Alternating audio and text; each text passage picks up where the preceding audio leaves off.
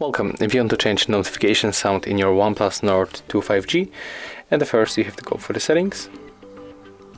Next you have to scroll down to the sound and vibration and scroll down again until you find notification sound.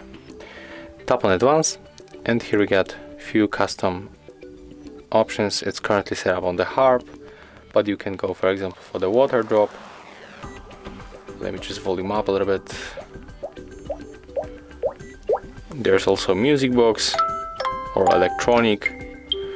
And if you want to apply one of them just click here. And after that you can just go back. So that's how we can make it. If you find this video helpful remember to leave a like comment and subscribe